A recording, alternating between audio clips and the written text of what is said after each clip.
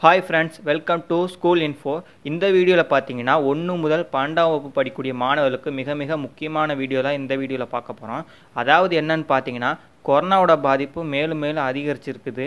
இந்த தகவலை யார் சொல்லியிருக்கான்னு பார்த்தீங்கன்னா சுகாதாரத்துறை மா. சுப்பிரமணியம் அவர்களே இந்த தகவலை சொல்லியிருக்காங்க. அதாவது என்னன்னு பார்த்தீங்கன்னா கொரோனாவோட பாதிப்பு வந்து அதிகரிச்சுக்கிட்டு இருக்கு. ஸோ நம்ம கொரோனா தடுப்பூசி போட்டாலும் கூடவே நமக்கு வந்து மாஸ்க்குங்கிறது ஒரு முக்கியமான ஒரு பொருளாகவே இருக்குது. கிட்டத்தட்ட ஒரு மூணு மாதம் கிட்ட மாஸ்க் போடுங்க அப்படின்னு சொல்லியிருக்காரு. ஸோ இந்த நியூஸ் கே ஸோ இந்த நியூஸ் கேட்டவொன்னே உங்களுக்கு அதிர்ச்சியாக இருக்கலாம். ஸோ அதுதான் உண்மை. ஸோ இதுக்கான ஆடியோ ப்ரூஃபையும் நான் அட்டாச் பண்ணியிருக்கேன். மறக்காமல் கேட்டு வாங்க. பொதுமக்கள் இரண்டு தடுப்பூசி போட்டுக்கொண்டாலும் முகக்கவசம் கட்டாயம் அணிய வேண்டும் என்றும் மூன்று மாதங்களுக்கு தனிமனித இடைவெளியை கடைபிடிக்க வேண்டும் என்றும் சுகாதாரத்துறை அமைச்சர் மா. சுப்பிரமணியன் வேண்டுகோள் விடுத்துள்ளார். ரெண்டு தடுப்பூசி போட்டாலும் கூட இன்னமும் ஒரு மூன்று நான்கு மாதங்களுக்கு இந்த முகக்கவசம் அணிவது என்பது அவசியம் என்பதை உணர வேண்டும்.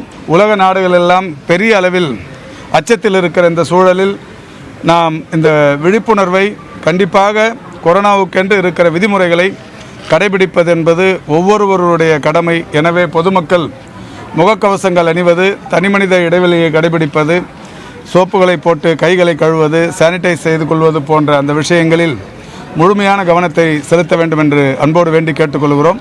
ஸோ ஃப்ரெண்ட்ஸ் கேட்டிங்களா?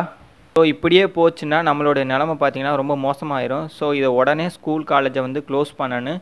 க்ளோஸ் பண்ணி எல்லாத்துக்கும் ஆன்லைனில் கிளாஸ் நடத்தணும். ஸோ இதை வந்து தமிழக அரசு கவனத்தில் கொள்ளணும். அது மட்டும் இல்லாமல் காலேஜ் படிக்கக்கூடிய மாணவர்களுக்கு பார்த்தீங்கன்னா ஒரு நாள் விட்டு ஒரு நாள் கிளாஸ் நடந்துக்கிட்டு இருக்கு. செகண்ட் இயருக்கு அண்ட் தேர்ட் இயருக்கு ஃபஸ்ட் இயருக்கு பார்த்தீங்கன்னா டெய்லி கிளாஸ் போயிட்டுருக்கு ஸோ இந்த நிலமை மாறணும்டா. கொஞ்சம் வெயிட் பண்ணி தான் ஆகணும்.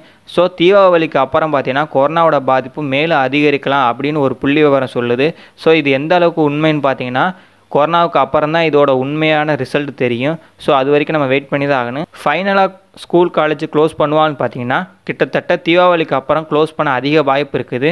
ஸோ இந்த வீடியோ உங்களுக்கு பிடிச்சிருந்தா மறக்காமல் சப்ஸ்கிரைப் பண்ணிவிட்டு கூட இருக்க பெல் பட்டனை ப்ரெஸ் பண்ணுங்கள் அப்போ தான் நம்ம போடக்கூடிய வீடியோ உங்களுக்கு நோட்டிஃபிகேஷனாக வரும்.